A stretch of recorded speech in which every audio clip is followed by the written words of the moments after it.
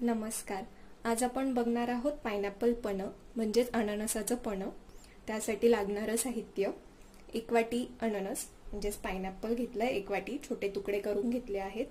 दोन ते चार चमचे साखर चार ते पाच पुदिन्याची पानं चवीनुसार मीठ अर्धा चमचा चाट मसाला.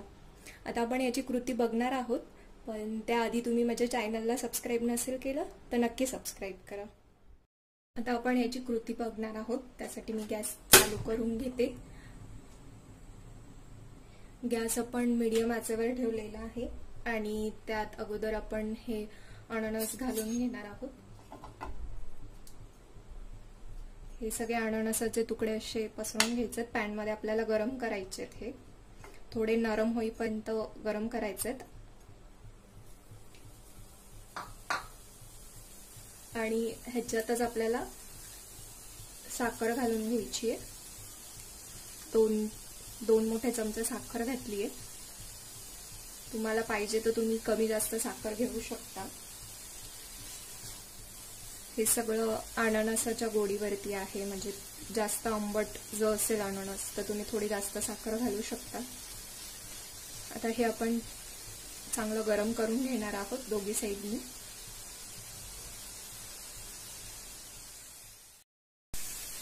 आता हे चांगलं गरम झालेलं आहे. आता आपण ह्याला पलटवून घेऊया. दुसऱ्या साईडनी पण आपण हे परतवून घेणार आहोत. बघू शकता तुम्ही साखर वितळत आलेली आहे.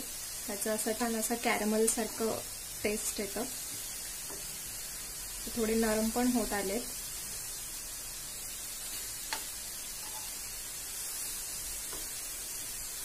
हे परत आपण एक दोन मिनटं चांगले गरम करून घेणार आहोत परतवून घेणार आहोत.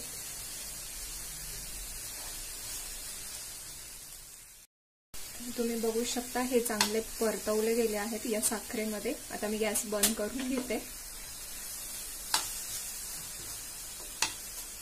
आता आपले हे अननस पायनॅपल रेडी झालेलं आहे. आता हे आपल्याला मिक्सरमध्ये ब्लेंड करून घ्यायचं आहे आता मी तुम्हाला पुढची कृती दाखवते. तर हे पायनॅपल आपल्याला मिक्सरच्या भांड्यात काढून घ्यायचं आहे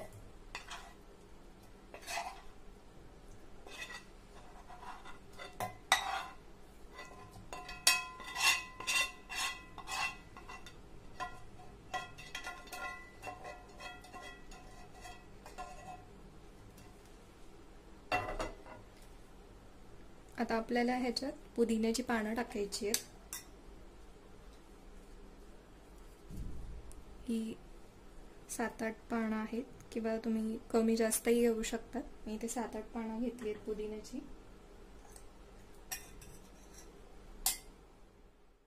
आणि आता आपण त्यात चवीनुसार थोडंसं मीठ घालणार आहोत. जास्त नाही तुम्ही बघू शकता. मी इथे एक चमच्याला थोडंसं म्हणजे एकदम हे वन फोर टीस्पून मीठ घातलंय मी ह्याच्यात. आणि हा चाट मसाला आहे. जो अर्धा चमचा आहे तो मी ह्याच्यात घालते.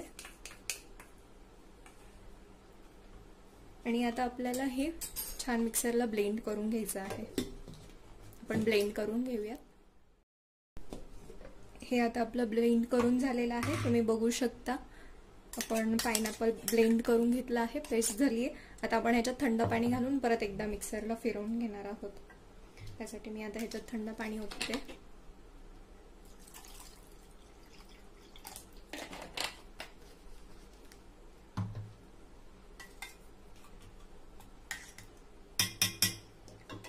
आता हे आपण परत मिक्सरला एकदा ब्लेंड करून घेणार आहोत.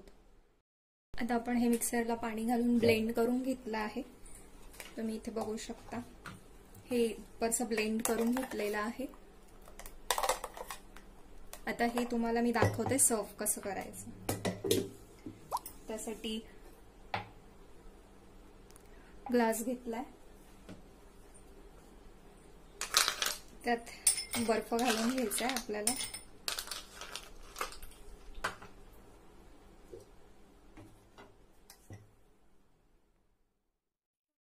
आणि त्यात आपण हा पल्प घालून घेणार आहोत.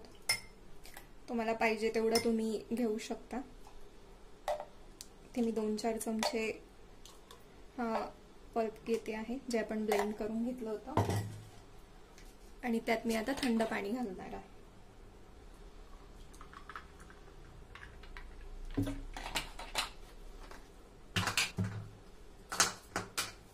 आणि हे एकदा छान असं मिक्स करून घ्यायचं. आपलं पायनॅपल पणं अननसाचं पण तयार झालेलं आहे. तुम्हाला ही रेसिपी आवडली असेल तर नक्की लाईक करा शेअर करा आणि सबस्क्राईब